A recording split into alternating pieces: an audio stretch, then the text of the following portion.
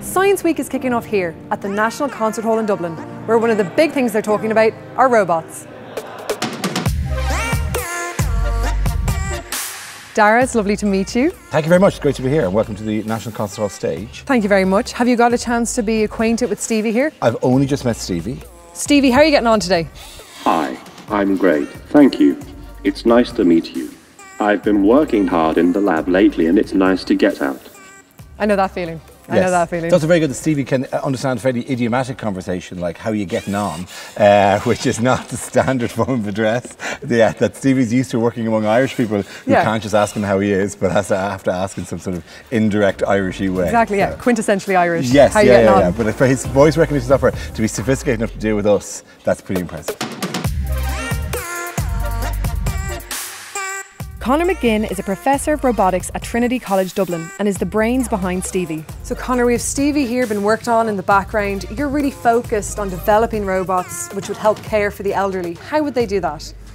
There's a lot of um, things that make it difficult for people to live by themselves, um, especially if they've got mobility problems. So the first thing we're looking at doing is thing, you know, making robots that are able to help people with everyday tasks, like you know maybe getting the door or going into the kitchen and finding some objects. You know, there's other things that you know like reminders that are very useful. So perhaps taking medication or if, you know before they leave the house, reminding to take a phone or keys.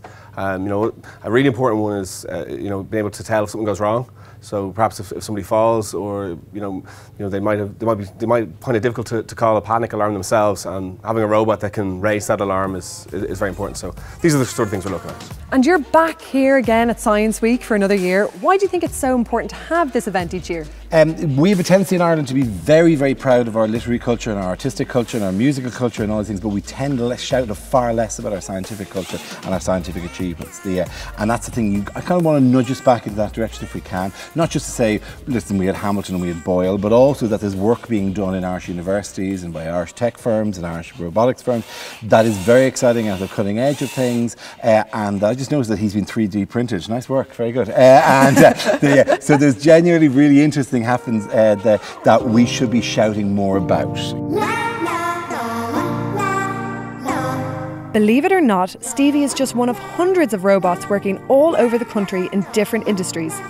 Anne Marie Tomchak is the editor of Mashable and has a documentary on RTE One tonight called Will a Robot Steal My Job? My own industry as a journalist has already been affected by robotics. There is robo-journalism where uh, you can uh, report on a live uh, news event and a robot will use language processing and produce a piece of journalism. And we looked at that and we went to a football match in the documentary and I had to try to decipher between two pieces of journalism, one by a robot and one by a human. And I have to say I was really impressed with the robot. Finally, the big question should we be worried? Will a robot steal my job? But I think we shouldn't be worried, but we should be prepared. I think that's the distinction.